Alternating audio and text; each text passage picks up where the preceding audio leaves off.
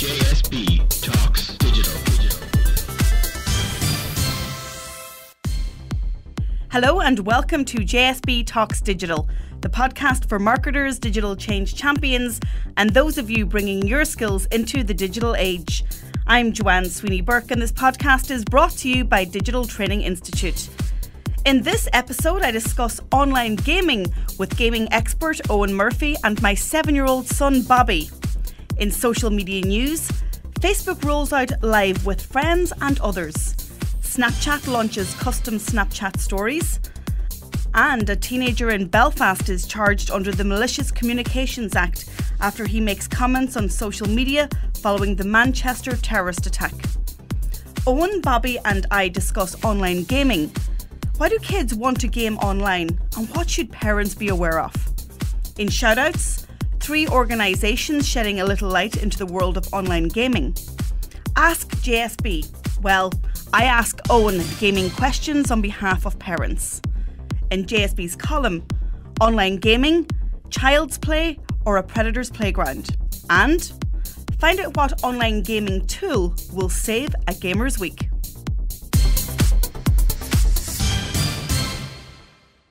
Social media news. Facebook rolls out live with friends and others. Facebook is giving us so many more live features, and now we can go live with friends and other people. Live chat with friends lets you invite friends to a private chat about a public live broadcast. You can invite friends who are already watching or other friends who you think may want to tune in. You're able to jump back into the public conversation at any time and you can still continue chatting with your friends via Messenger after the broadcast ends. Last year, Facebook started rolling out the ability for public figures to go live with a guest. It's now available for all profiles and pages on iOS, and that includes me.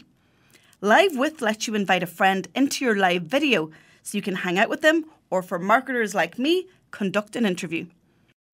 If you want to know how to add somebody to your live video, click on the link associated with this podcast at digitaltraining.ie. Snapchat launches custom Snapchat stories. The new feature allows you to create stories with friends rather than by yourself.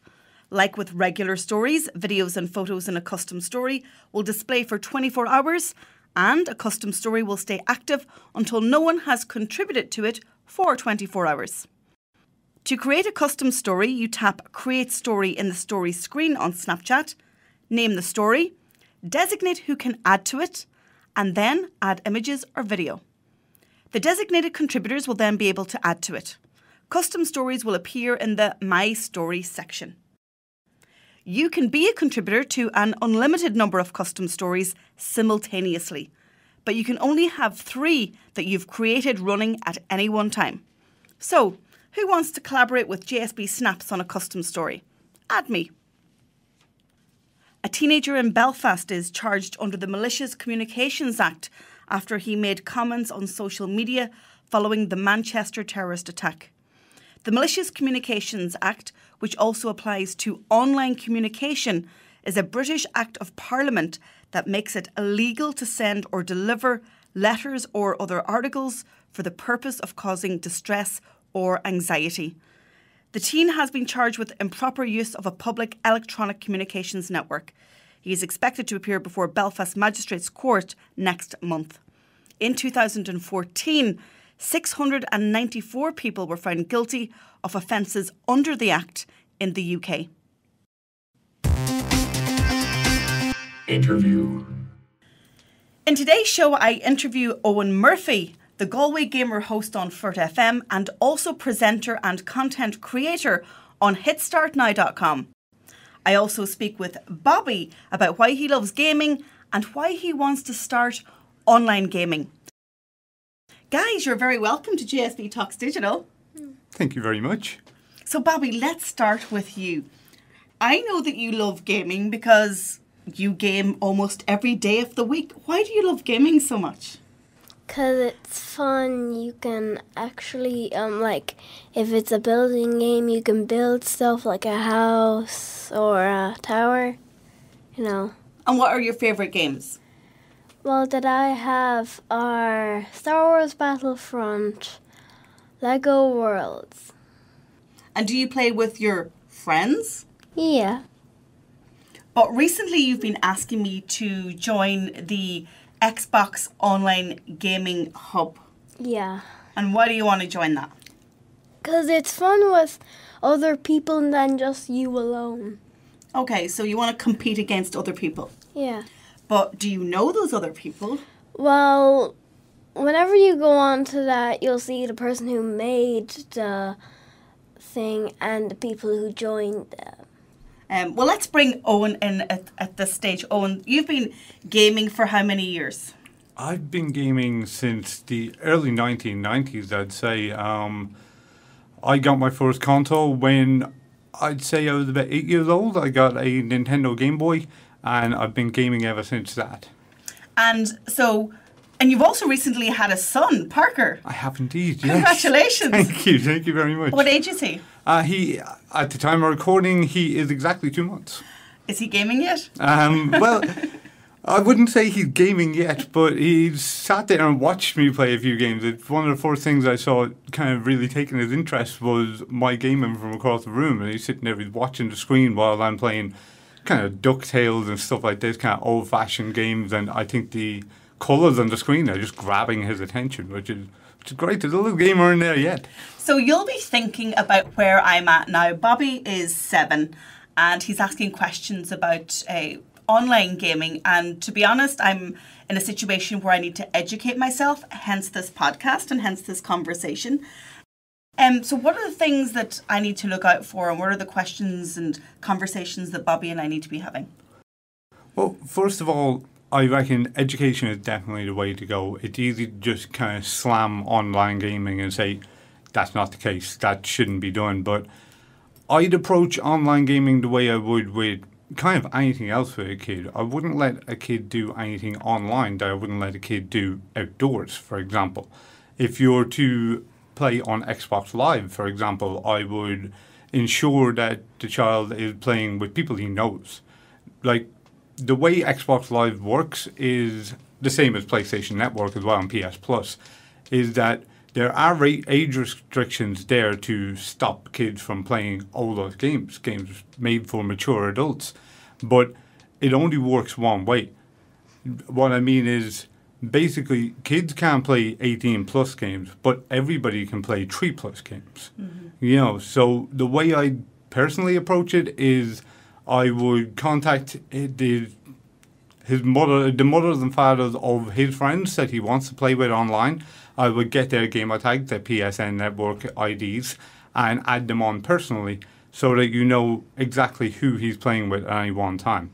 So from that perspective, if you approach it that way, then the age restriction isn't such an issue. Um, I don't believe it should be. No, no. I believe if you're playing like that, making sure that everything is played within parties, everything is made within lobbies created yourself.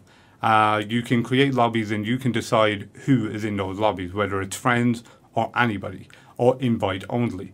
If you create these lobbies and make sure it's invite only, therefore you're sending out, the, uh, the lobby requests, the game requests for other players to play, well then you're in complete control.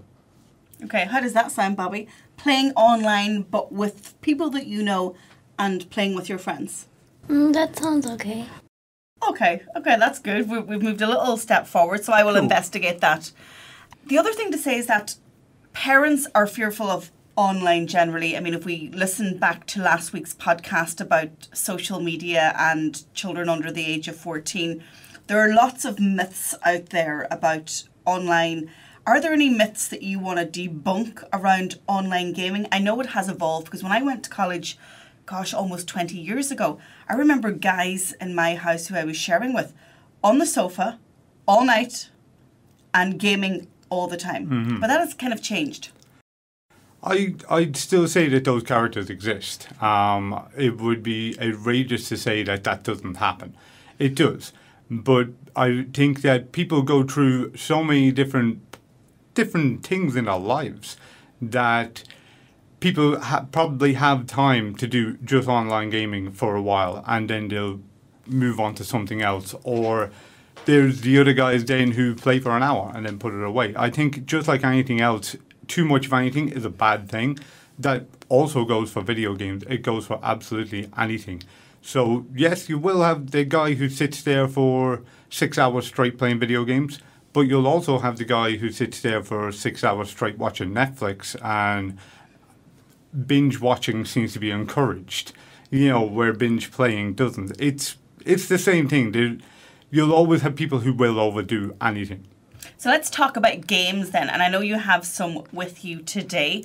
How does a parent decide age appropriate games? I do have a small handful of video games with me today uh, from my own personal collection back home, and each one of these has indicators on the case which will show you exactly who it's made for, who it's appropriate for, if you will. As I said, anybody can play uh, games based for younger folks, but younger folks shouldn't be playing games based for older folks. And each of these games, I'm just going to pass them over to you here. Each of these games has little indicators and see if you yourself can spot them to show them off.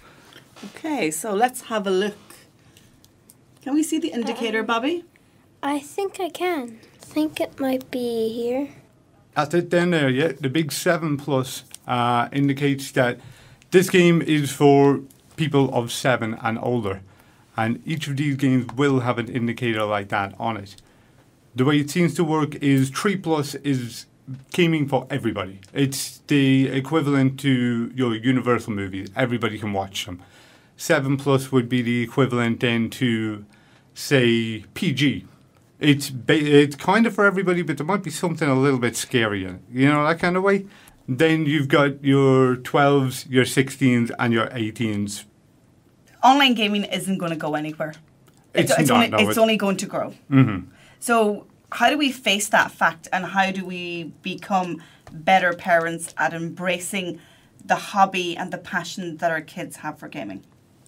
I think by monitoring it, um, I don't think I as much as online gaming is huge. It's not all gaming. You can still game without playing online. You can still buy online style games and play them without gaming online. Everything doesn't have to be online, but normally your console will be hooked up online, so you'll still have say access to patches when need be. Patches are things that fix your game if your game is kind of buggy on release. So these things will kind of be installed automatically. That's why it's kind of good to have things online. But the online gaming side of things is not necessarily the be all and end all of video games. You know, you can play these huge, illustrious single player video games with so much to them. There's plenty of games where there is both in it, where you can play as single player and indeed add multiplayer. So there's something for you and your friends to play, and there's something for you yourself to play when you're on your own. It depends on what exactly you're into. But no, it's not going anywhere. And the thing is to, if you are embrace it, just do so cautiously. Do so like you would with anything else. Make sure it's monitored. There are plenty of little bits and pieces built into these machines to make sure that that happens. You can get child accounts, for example, on Xbox Live as opposed to an adult account. You can program your Xbox and your PlayStation to not play games over a set uh, age restriction. Therefore, if I was to put in Mortal Kombat XL there after programming it not to, it simply won't play the disc without needing a passcode from you. You, of course, would know the passcode, the same as you would with TV channels you wouldn't like your kids to watch. You can also have the likes of there's a lot of chat online, for example, so you can make sure that that comes through the monitor as opposed to just through the headset. Therefore, ensuring that anybody that your child is chatting to online, you also hear them. So it's all about embracing it, but making sure you do so with a mature adult mind. Have you ever experienced cyberbullying on online gaming? Unfortunately, yes, yes. Uh, there is a lot of it um, through gaming sites and indeed the games themselves um, to a point where it's kind of sickening, to be perfectly honest. Gaming sites seem to be rampant with it, and the way I go about it personally is instead of, well, I say gaming sites, I mean ones that anybody can post on. And personally, I approach ones that are a little less YouTube and a little more forum based, if you will. So your comment section on YouTube for a lot of video games is toxic, to say the least. But if you were to gear towards more a gaming site that has active moderators and has a no abuse policy, well, then that's kind of the safe place to talk about video games. Therefore, if anybody does attempt to cyberbully you, you have the opportunity to report this and get them banned. Okay. Eoghan and Bobby, uh, thanks for talking to me and all our listeners about gaming and online gaming, and I will continue to learn the ropes. Thank you. Thank you very much for having me on. Mm, thank you. Shoutouts. In this part of the show, I give shout outs to brands, organisations, or individuals whose work online is remarkable and worth talking about. Online gaming is currently the biggest selling point of most video game genres, to a point where the classic single player experience has been pushed into the background in most games. Online has also taken over the space which couch players used to occupy, meaning that most gaming interactions are now done with strangers as opposed to the player sitting next to you. With the online experience playing such a prominent role, it's important to ensure that your child is safe while playing their favourite games. So, in this week's shoutouts, we look at three organisations shedding a little light into gaming online. 1. Laya Healthcare Online Gaming Safety with Dr. Maureen Griffin. Forensic psychologist and lecturer at University College Cork, Dr. Maureen Griffin has covered many social issues throughout her career.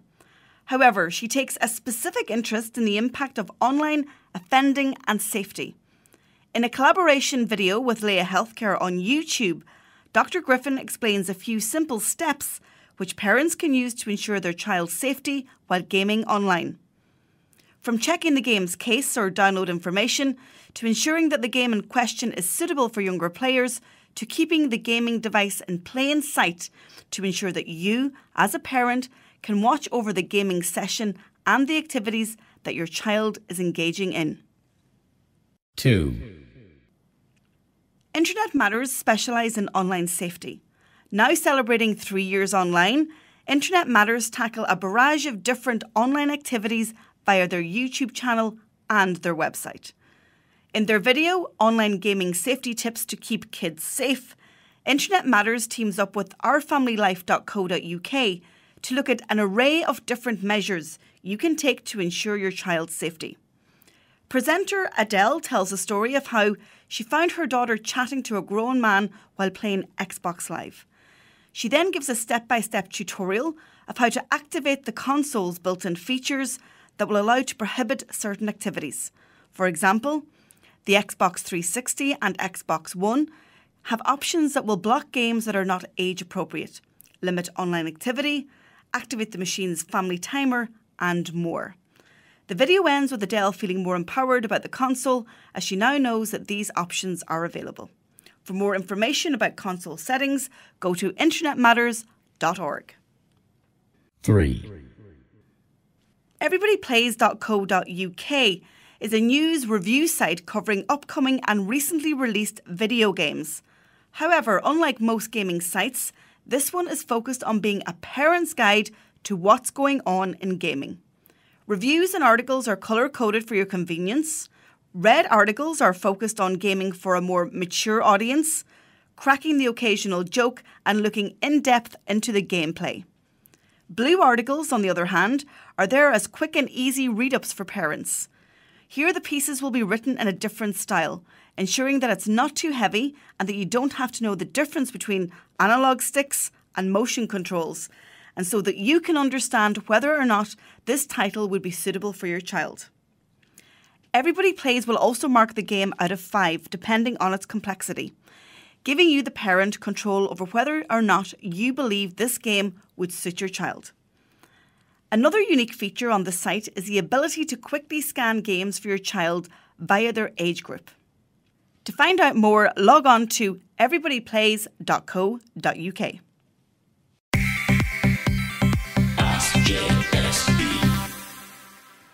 Ask JSB brings the voices of my listeners onto the show. So you now have an opportunity to ask me a question, have it aired on the podcast, and I will respond. If you want to hear your voice on JSB Talks Digital, simply log on to digitaltraininginstitute.ie forward slash ask JSB and you might find yourself and your question on air. In today's special show about gaming, I'm asking the questions on behalf of all parents, but Eoghan will answer them. Eoghan, what age is age appropriate for gaming? For gaming in general, I think I reckon at least wait until they're starting school. Uh, I believe. Um, I can't recall when I played my first game, so I can't actually say from that kind of experience. But I'd imagine wait until they're at least three or four. I know that three plus is kind of the minimal on all video games. It seems to be what they log as now you're allowed to play. Personally, I'd probably give it a little bit further than that, but that is the minimal on the cases of video games. Is anybody over three? This is cool. What do parents need to look out for when children are asking to join online gaming hubs? I think if if nothing else, make sure that you're sticking with the big boys. You're not going off to random games online or random games that you found on the internet or anything like that. Stick with Nintendo, stick with Sony PlayStation, and stick with Microsoft's Xbox. All of these, there is a pullback on them. If anything goes wrong, you've got somebody to contact there. You know, you can contact Xbox, you can contact PlayStation. You have somebody to fight your corner, if you will. If you go onto random hubs online outside of, say, these three boys and then Steam being the big one for PC, then you're in very, very rocky territory. So I'd say stick within those perimeters. So, what games do you recommend for seven year olds? There are so many, so many. Um, where do I even begin? I reckon Skylanders is huge. Skylanders is one that is one of the coolest ideas I've seen in a very, very long time. For anybody who doesn't know what Skylanders is, it's a game where you can basically get little toys put them into what they refer to as a portal in your sitting room. And the characters that these toys represent will then appear within the video game and you can play as those characters. So there's a little something for everybody there. If you're a collector of little figurines, you can play that way. If you just want your dudes on screen, that's cool too.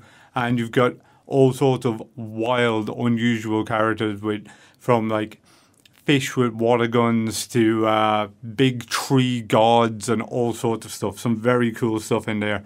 I'd also recommend Pokemon, which is one of my personal favorites. Um, it's a very simplistic idea. You run around, you pick up little monsters, you make them fight against other little monsters. Each one has their own elemental abilities and their own special moves. It's cute, it's adorable, and if you're into the competitive side of things, then there is also so much to that game. There's so much more than just cute little characters on the screen right there. Highly recommend Pokemon. It's absolutely fantastic. Of course, you've got the likes of Angry Birds then as well, and Angry Birds comes in all sorts of different flavors now. You can get your Star Wars Angry Birds, you can get all sorts of different ones. I believe they've recently had a movie too. And it's pick up and play fun that pretty much anybody can play, regardless of age. Of course, Minecraft as well would be another absolutely huge one to a point where it's it's got its own conventions here in Ireland simply for Minecraft. And that's a great one for kids to get involved in, in my opinion, because it encourages creativity. You're given this world with little or nothing in it, and you've got to build this world into whatever you want it to be. Now, whether that's pictures of your vid- favorite video game characters or little houses for your avatar to live in, whatever you can think up, you can create within Minecraft. So, as I said, there are loads out there. There's also the likes of Disney Infinity, which does a similar thing to Skylanders, except with Disney characters. And considering Disney now own everything, you, that means you have Star Wars characters in there. That means you have Marvel characters in there and all sorts of others. And of course, don't brush the likes of Sonic the Hedgehog, uh, who's got a new game coming out called Sonic not called Sonic Heroes, Sonic Forces, I believe it's called, and Super Mario. Don't knock those either because they also make for hugely entertaining family fun. Eoghan, thank you so much. And I have to tell my listeners that D-Pad Dad is a new blog from Eoghan on headstartnow.com. And it's about juggling, gaming, and parenting, so be sure to check it out. JSB's column. In today's column, I asked the question online gaming is it child's play or a predator's playground? Gaming is big business. In fact, it was worth over 244 million euro to the Irish economy in 2016. Its growth rate is about 7% on the previous year, and I expect that upwards trend to continue. But what is the social and personal impact of gaming? And is it just child's play for our children, or should we shudder at the thought of predators targeting them? This column probably leads on very nicely from last week's when I spoke about parental responsibility and social media. I find myself somewhat in the same boat when it comes to online gaming. When Sophie was growing up in the 1990s, she wanted to dress dolls up online on Stardoll. I remember we had a dial up connection, but she had the patience to wait for the site to load. But it's a different story today with Bobby.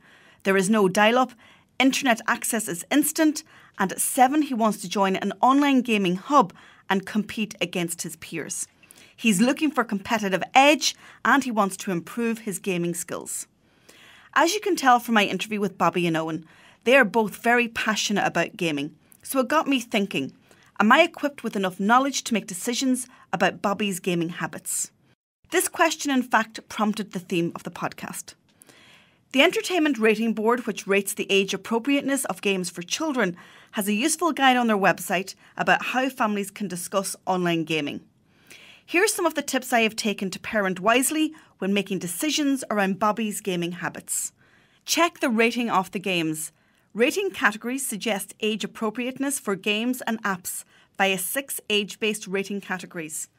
The back of the games also have icons which depict violence, bad language, horror, and more, so do look out for those. Education. Making Bobby aware that he should never tell anyone he doesn't know his real name or passwords, financial data, his birth date, home address, phone number, school, or our place of work. I'll also teach him cyber etiquette, teaching him to be thoughtful and cautious about the information and permissions he provides when registering on a game's website or a mobile app. We'll also look at certified games. I have shown Bobby the ESRB Privacy Certified logo, which provides assurance that a game's website or app is collecting data that is compliant with privacy laws and best practices. Finally, use the device settings and monitoring tools to disable in-app purchases, turn off location tracking, limit online access and or data usage, and enforce homework or bedtime hours.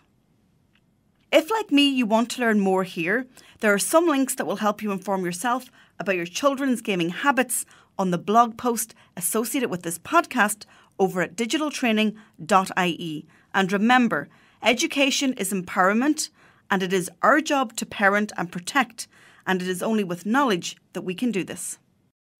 Social media tool of the week. When it comes to gaming, Twitch is probably the number one app that every player's phone needs. Just like the desktop version, Twitch allows gamers to stream their play sessions live online for the world to see. This allows for any amount of different game styles to be viewed, as it's the broadcaster's choice what they wish to stream. Couple this with the fact that the streamer can also add on the fly commentary throughout the game, and Twitch becomes a hugely entertaining app. From here, viewers can interact with the gamer in real time via a comment section that appears below the video stream.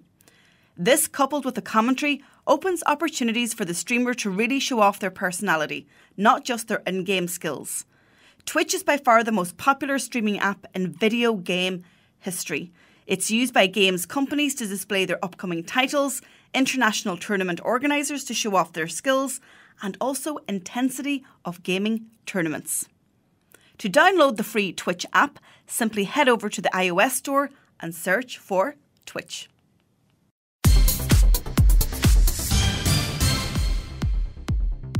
Thanks for tuning in to this episode of JSB Talks Digital, and a big thanks to Eoghan and Bobby for their insightful contributions.